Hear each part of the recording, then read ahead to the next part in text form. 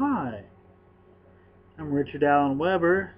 I'm going to be your somewhat narrative reader of some of my short stories.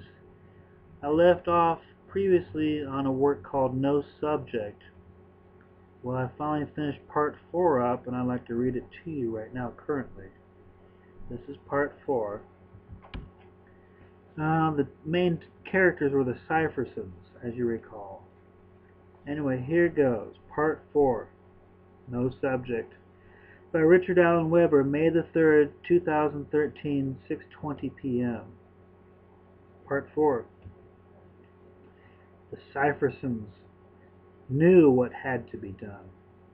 In accordance with the teachings and philosophies of Anton Szandor LaVey, what follows next is the compassion ritual, performed as such to release the curse of the Seneca tribe, to make right what was wrong, to free the children of Mr. Polk's nightmare and make the future strong. I will not overemphasize the ritual practice here, my folks. Simply said, it was an act of compassion and empathy. The body of the shaman his bones and final remains, all that was left, was where the altar was placed. All attention was placed upon the altar. A nude woman was representing the earth, mother, and sympathetic energies.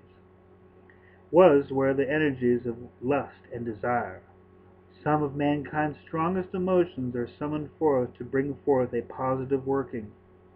The Syphersons work their magic and on the final stroke of twelve midnight on May Eve, Saint Walpurgisnacht, the accursed venom from whom Mr. Polk was the messenger, was finally and successfully vanquished from the hills of Pocahontas County, West Virginia.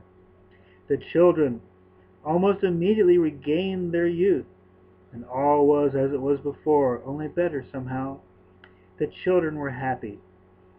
Parents were content and the elderly were pleased and proud, and the Syphersons, once despised and thought of as strange and different, were now the heroes of the day. It's funny how one day you're evil and misunderstood, and then the next day they can't get enough of you.